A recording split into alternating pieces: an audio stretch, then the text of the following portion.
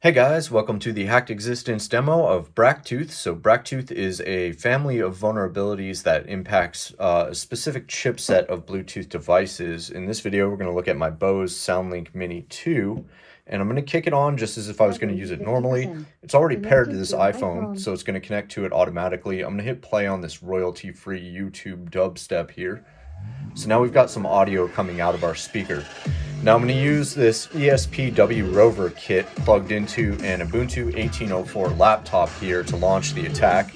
And you can see I've already given it the Bluetooth MAC address of the target, that's our speaker here, and I've picked the invalid MAC slot exploit. So let's go ahead and run this. And it takes a minute to set up. But here we can see the audio has stopped and it's actually blipping. So if you listen for it, you'll hear it chop in and out. Uh, this is one of the more aggressive attacks that just about cuts out the audio altogether, but some of the other attacks cause much smaller jitters in the audio. But the reason I wanted to show this specific attack is because if this happened to me while I was listening to my Bluetooth speaker, I would go over and try to power cycle it. So if I turn it off, and I'll cut off the attack now, and go ahead and turn it back on, 50%. what we'll notice is it didn't automatically reconnect to the iPhone, and it's going to sit here and flash for about 30 more seconds, and then it'll drop into pairing mode because it can't find the iPhone sitting right next to it. iPhone disconnected, ready to pair.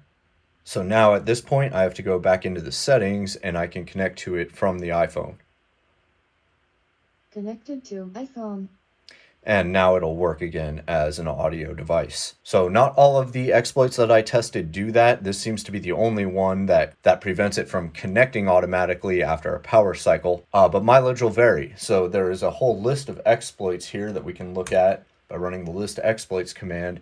And you can basically iterate through all of these. Some of them do nothing at all, um, and they're all going to be different based on the chipset and how the Bluetooth stack is implemented on the device you're targeting. So in addition to denial of service attacks against Bluetooth audio peripherals, Bracktooth has also been demonstrated to impact chipsets on laptops and smartphones, and they have some really interesting research around getting arbitrary code execution on ESP32 based Bluetooth chipsets like this one. So overall, a neat little family of vulnerabilities if you want to be able to impact Bluetooth audio devices.